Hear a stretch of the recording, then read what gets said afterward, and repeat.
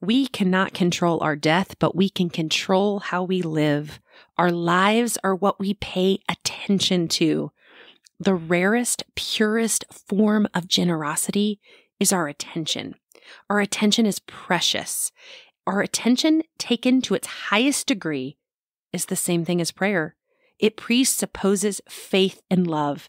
So how we pay attention, how we spend our time is how we spend our lives. The power of fun.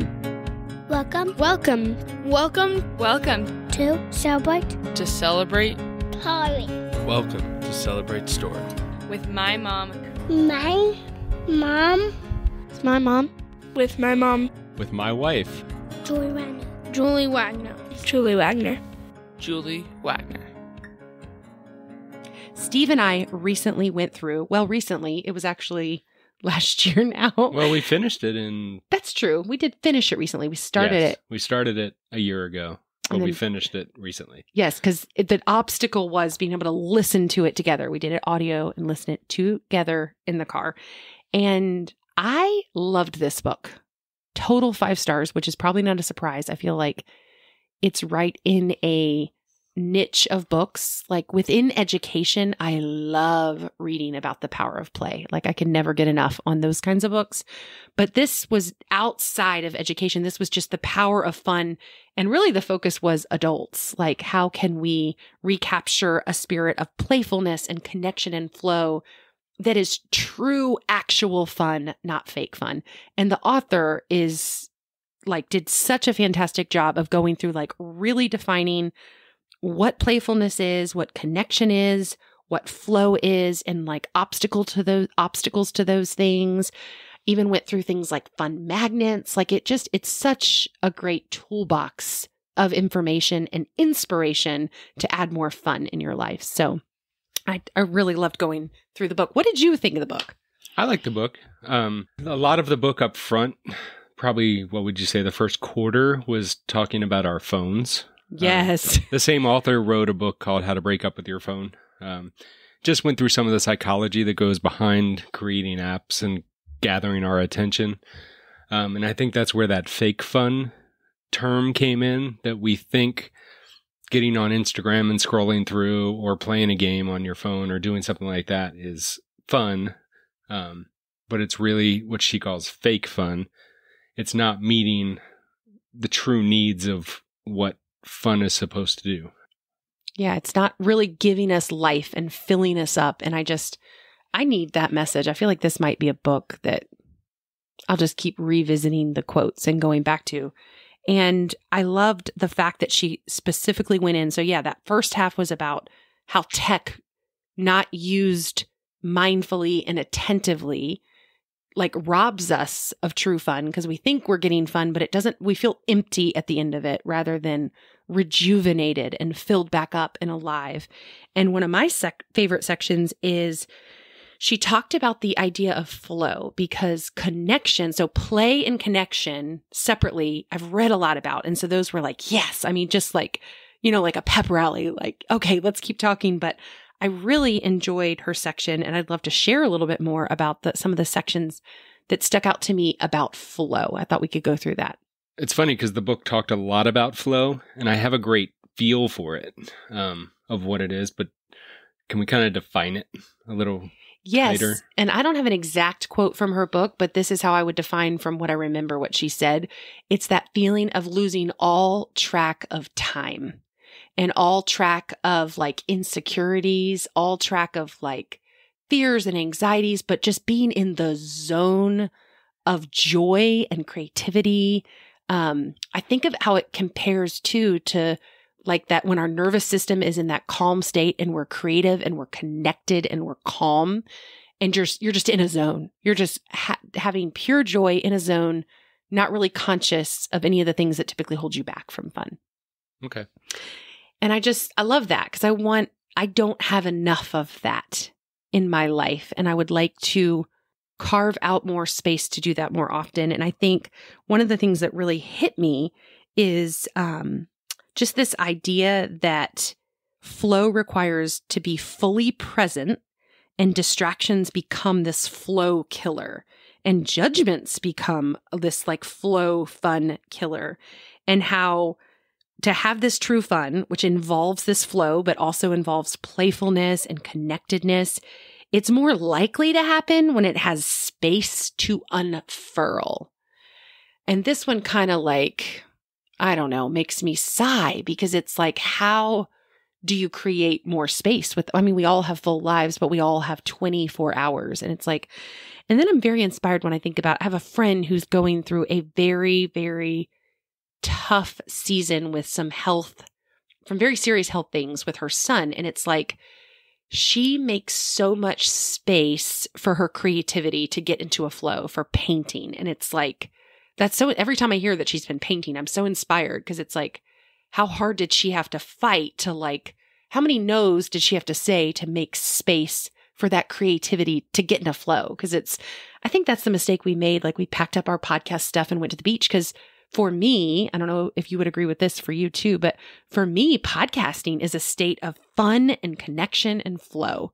I agree. yeah, like we'll get in this like we're, we'll just get rolling and it like it just it's so fun like true fun. And then i think our mistake at the beach we packed up all the well we as in you you packed up all the microphones um and we unpacked them as in you unpacked them and got them all set up. And it's like but we only had like 37 minutes hmm and it's like I'm rushed and we were trying to record this like actual episode but it's like I did not feel playful. I did not feel a sense of flow. No flow. Yeah, no flow because I'm like we have got to get on the road because when I'm ready to do a car trip it's like I'm just thinking like the Mhm. longer it takes me to get on the road the longer it takes me to get home. So, yeah, I think that that space for play and flow to unfurl is that's a huge challenge for me for flow for sure. But if we stay on this topic for a minute with podcasting, because it does take time. So if we if we turn out a 30, 45 minute episode, there's two hours around that, um, which takes a, a ton of time, and it, it it takes planning and it takes purpose, um, just to to say this is what we're going to do at this time until this time everyone needs to have something to do where they're not knocking on the door or whatever it is. Yeah. So like right now it's tech time in our house. So that keeps basically everybody tied to a screen for a couple hours and we're able to We're there having fake fun. Yes, they're Well, having we fake fun. real We're up here having real fun. Kids, you're listening. I know you are. yes, that's, and you know, I give you credit on this, and I know I have been very resistant. Like, listeners, you got to know Steve Wagner is the master scheduler and logistical manager. Like, like for his job, he'll take like four. I remember one time he came home with like this like several inch thick packet of like this huge sign project for UNC Asheville just to bid every single sign, like all the measurements, all the fonts, all the details, like, and you just dutifully went through that whole pack. Like, no one has the level of attention to detail that you have that I've ever met. And like, you have pushed, wait, you're scrunching your eyes at me and I'm complimenting you. I appreciate the compliment. I just think there's more detailed people out there. Oh, you just thought I was getting a little bit exaggerative? Right. Well, no one I've met. No one you've met. No one I've met. Okay. Okay. Gee whiz. Sorry, I just can't really even take a compliment. You can't even take a compliment. Oh my goodness. Okay, anyways, what I'm saying is I'm trying to I'm trying to tell a story here. This is celebrate story, Steve Wagner. Anyways, what I'm saying is he is so good with details and at co- during the COVID time, he was like we need a spreadsheet and a schedule that goes in the fridge every single day and I was like no, we don't. This is my area and you need to back up. This is my lane. That's exactly what she said too. No, no, no. At the surface. So. No, you said it out loud oh, did I say You it out loud? I mean, I think it took a while to get there, but my whole point is I have seen the light. I am saved into the scheduling cult. Now I'm on board of scheduling. Now it's like I truly had an epiphany, and I think that my obstacles or a light bulb, I guess I was revealed another blind spot. It was like there was a day where I was hesitant because I started to reluctantly come around I mean, I didn't do it for a while, but then I reluctantly, and I will say too, I do love he'll put on the top of the schedule, which is a fun factor. He'll look up what national day is it today, and he'll put at the top of the schedule, like last Thursday was like National Tell a Story Day, which was very exciting for me since I actually have a podcast called Celebrate Stories. So, I mean, it was just a moment of fun instantaneously. Wait, I think I put that schedule up. But, anyways, the point still stands. Getting excited telling you about all the ins and outs of this schedule. But my point is, so we'll, you know, have something different. And like our son's girlfriend is like, one of the first things I love to do is come over and see what national day it is today. So, anyways, just like a tiny microdose of fun is, I believe, what the author calls that. And the thing is, is I was so resistant and so resistant, and I have now come to really rely on that schedule because I don't have to answer six times what time text time is. And even things like on Fridays, I'll include the whole weekly clean list and like exactly who's doing what, what weekly clean. And then when I go to the Friday tab, I just reprint Friday, which none of this actually sounds fun, y'all. But what I'm getting to, this is all work. But what I'm getting to is I had this moment to see this blind spot in myself of like, I'm so reluctant to schedule things because I just want to keep everything open to like please everyone. And by doing that, I leave myself out and I leave planning in spaces to do the things that matter to me. And it just, I didn't see that until I saw that. And it's like, I am really going to work hard on that, on scheduling. And I have been like, You have. You've been. I haven't made a schedule in a while. You do it most days. yes. And it, it, it is working for us. I'm sure it's not for everybody, but it, for me, that is a tool to make sure that I put on. If I don't plan for it, then my large family and all the endless things I volunteer for will eat up every last minute and I will not have those spaces for flow. And we have a number of kids that if they see a hole in that schedule, they like to fill it. Yes. They like, Like, to. Oh, we can do this now. Yes, you, You can take me us here. and you can take me there, and you can take me everywhere. You can take me in a car. You can take me in a box. You can take me with a fox. I'm sorry, it it just started coming out. I got you. That was kind of fun. Yeah. Like I enjoyed that. Okay, And to take it the last five percent or whatever percentage it is, uh, seven point two. seven point two. Mm-hmm. I've been measuring. you make time if something's important to you you you need to make time for it and you will make time for it um so like today podcasting was on the schedule um we had tech time and podcasting if you want to see your friends more you have to make time to see your friends and in relationship in the connection part of of fun i guess if you're not if you never have time to do the things you want to do with the people you want to do it with, they're going to see that as you don't have time for them. It's so true. And they're in the back of, I know it's in the back of my head that you prioritize what's important to you. So if you don't seem like a priority to the people around you, you're going to naturally think you're not important to them. It's true. We communicate our values of the people in our lives with how we choose.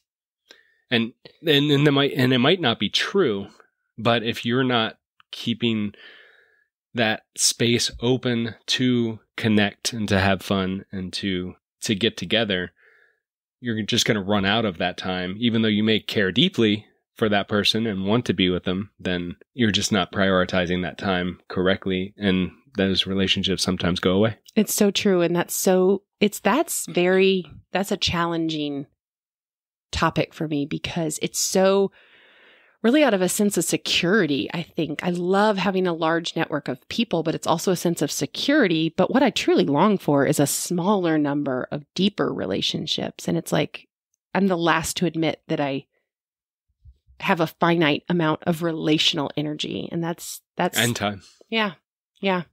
It's probably a good time to stop and make sure everybody understands that we don't have this figured out. Like, no, no, no. it's just intriguing to us. I think Julie's better at fun than I am most of the time. Um, making making s- songs up with the kids to get them to clean up, or drawing chalk in the uh, um, to teach them English, or reading out in the street. I am definitely like that. drawn to microdoses of fun, but I, it's like I heard that expression once of like you can handle a whole lot of drain if you have a whole lot of fill, and I am definitely starving for more fills of play. Like I'm, I'm, I'm my tank is like needing the fill up for sure. So we don't have it figured out, but there are some things that we pulled out of the book that kind of explain why this is a pursuit of ours. Um, we're just going to go through some of them here. You want to start? Yes. And then also that we'll invite you. Like one of the fun parts for me about this podcast is, of course, first and foremost, connecting with Steve and myself. Like, what do I want to say? Like I have a deep need to be heard and it's it's fun to sit here and record it and and declare that it matters to us. And then it just feels like overflowing fun when you guys write paragraphs of responses sometimes it like blows me away of like this is what i thought and thank you so much for sharing this. So like by all means share with me where you are on your fun journey because i love connecting with you as listeners. So these are some of the benefits for us and join us if you too have an empty fun tank and need more fun for these reasons. So we'll kind of go back and forth on these. Fun shapes the brain, opens the imagination, and invigorates the soul. Oh, I love that one so much. It is so true. I feel the truth of that one. This one I also love. True fun isn't a distraction from our problems, but a solution to our problems. Play lifts people out of the mundane. And a life without play would hardly be worth living. And play is like oxygen all around, only noticed when missing. And I love this one. When we stop playing, we start dying. I love this because we live in a culture that fears and denies the aging process. And it's like, I just want to be, I want to embrace the aging process for the gift that it is and just continue to play more and more. I mean, that's, I know, a, an aspirational goal, but that's the target on the wall. Play is a string which we tie our memories and friendships together. I love that. You know, love and I think with, I tend to see this more in guys. To, uh, maybe that's just because I'm a guy, but men typically make seem to make closer friendships when you're doing something active together. Um, whether it's you know working out or playing a sport or camping or fishing or whatever. Um, physical activity tends to help the closeness. tie together. Well, and it makes me think of the beach. Like it feels, I mean, the beach was only you and I went away with all the kids and teens and young adults just, what is it, five days ago? And it's like already what sticks out to me were those moments of play. Like when at sunset, when y'all were playing football and Boaz is flying kites, like, or playing pickleball and tennis and taking up a massive amount of courts, like those moments of play hmm really do tie our memories together. It's so true. And key to healthy aging is relationships, relationships, and relationships. And these, this is one last one for me that's kind of like connected together. So, flow in true fun produces connection and is contagious. It steps us out of the boundaries of the ego. And in that state of flow, we don't fear failure. And then when we are connected in that flow and we laugh, we breathe more deeply. That last part I love so much. When we laugh, we breathe more deeply. Laughter endorses and endorses endorphins, which help deal with physical pain. And the more we laugh together, the more connected and less lonely we feel. Oh, I hunger for more laughter. And I think that's a good place to leave it because I think that's that's what we're looking for: fun, laughter, relationships. And yeah, and before we totally wrap up, I will encourage you if, to either read, you know, check out the book if you're interested. Um, it's by Catherine Price, The Power of Fun. I got it from the library first, and then we ended up getting it on audio when we decided it, to do it together. And she has a cool free, um, t- fun toolkit that even if you don't want to read the book, I found the toolkit was really fun. it produced great conversation. Like she goes through, like you have a fun compatibility quiz in there. She has a fun magnet worksheet. She has a section, my favorite section in her fun toolkit, which you can get from going to her website and we'll link it in the show notes. Is she goes through all the fun factors and it produced like an interesting conversation for Steve and I because we didn't realize when we went through all these fun factors like there's like physicality and nature and intellectual stimulation and silliness and music and creativity and a challenge and learning and leading and teamwork and community and sensuality. Like there's all these fun factor things that you can discuss. Like, is this a fun factor to me? Does this, like, how does this bring out fun? And it's different for all of us. And so it was a really, I enjoyed the exercise where we realized how different we were in that. Yeah, because we're very different. So it's it's hard to find things that it is fun for both of us. It's so true um, because because we have different needs and different wants. So- Yeah. And it was helpful to see that, like the physicality, like we both are drawn to physical things, but you want it to be competitive and I Mhm. want it to be cooperative. and so that's tricky to find that. And so, yeah, but there's so many fun um, discussions that launch from that. So I hope you have the most fun summer ever that rejuvenates and revives and restores and connects you to the people you love. And please share um, this podcast with those you love and challenge them to laugh with you more. And I don't know if it'd be true fun for you, but it would be true fun for me. So this might be a big ask, but if you could rate and review the podcast, I would be so grateful. Thank you so much for listening. It is fun to podcast and hear your response.